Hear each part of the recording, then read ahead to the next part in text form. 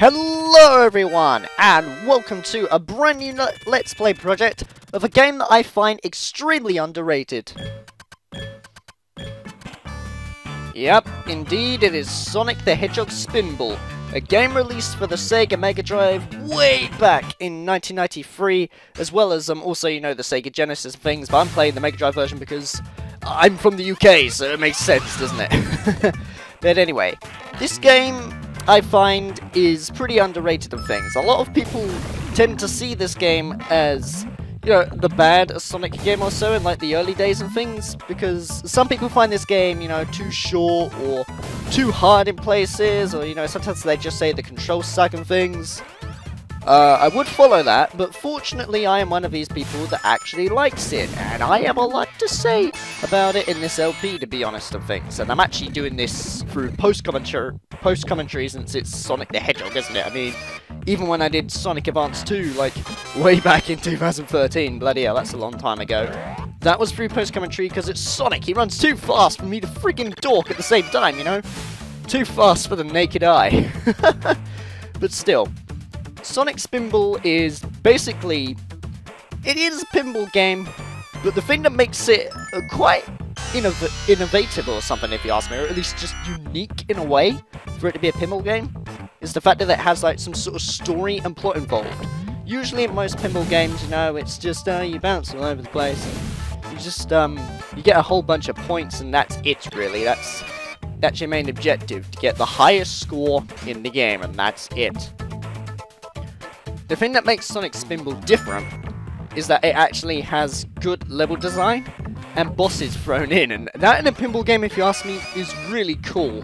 But the problem is, like, a lot of people who've played this, probably when they first played this, you know, like, for the first time and things, they just thought, uh, it's alright, I guess, but, you know, because they, cause they never realised that there are, like, bosses and extra things in this game and that. They just thought it was just, you know, just this one a pinball area and that, you just try and get the high score. But no, there was a lot more to it in things. Like, as you can see right now and things where at least it happened earlier, you know, I had to hit those switches in order to drain something in order to get the emerald.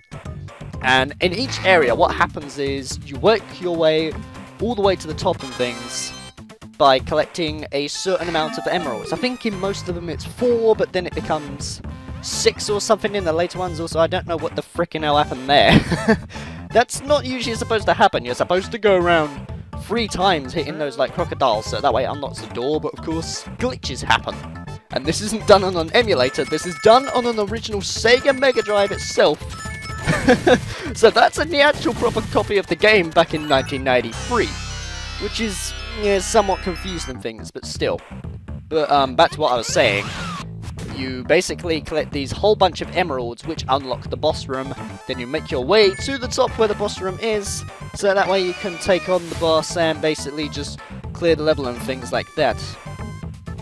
Some interesting trivia I found out about the game actually is this. A lot of people, even though they don't like the game, they love the soundtrack. A good thing too, as Sonic Spinball's soundtrack is awesome. And you want to know why it's awesome?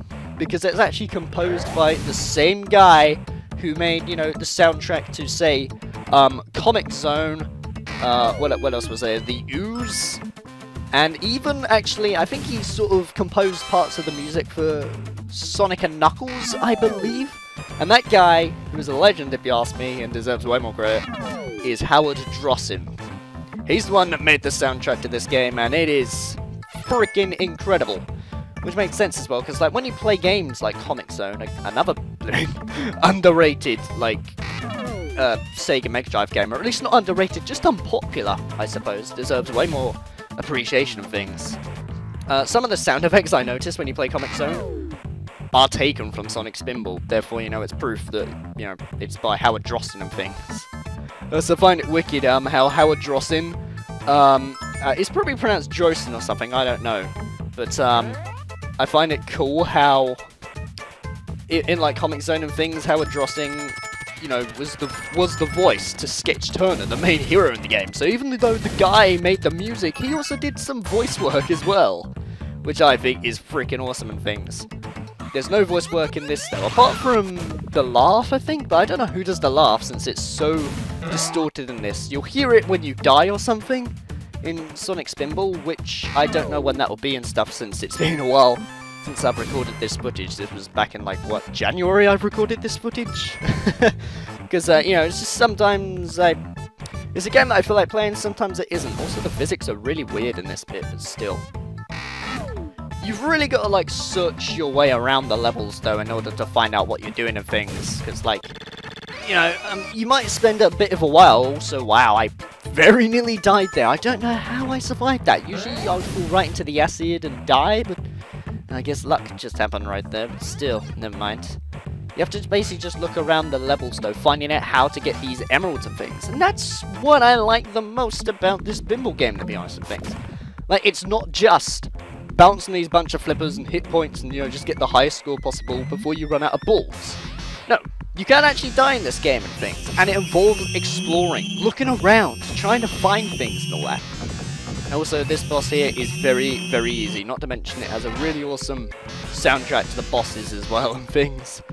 And a very, I mean, yeah, exactly, that Scream right there, a bit, I don't know, sort of ear-grating I suppose, but still.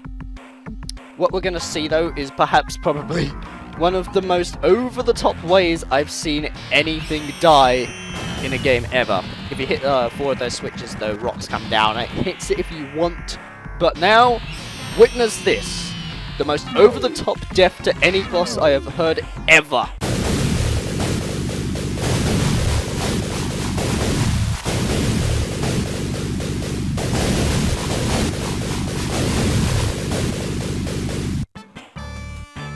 pure freaking chaos, you know, just hearing those explosions, things go over the place, and the screen even shakes. This is on the Mega Drive, don't forget. This is not through editing, this is how the game actually plays when you play it on an original Mega Drive system, you know? I know, I just find that so over the top and things, but still. And every time you clear a boss fight and things, and bosses are each, you know, you defeat them in different ways and things, you get given these bonus mini games, which pretty much like just if you clear them, they give you an extra ball and things like that. You know, they appear every time you've uh, cleared one of the pinball stages, and I am terrible at these ones. To be honest, I'm not really the best at Sonic Spinball. The is, though, um, I don't think anybody can be the best at Sonic Spinball, given the fact that, you know, it's basically pinball. Anything can happen. Like, the ball just does whatever the freaking hell it wants and things. But I actually have a flaw with this. I like the idea of these bits, you know, like the minigames and things, but the thing that just ruins it. And sure, I mean, I suppose it's pinball. This is what would happen in reality, but this is this is a video game, god damn it. It doesn't have to simulate reality all the time.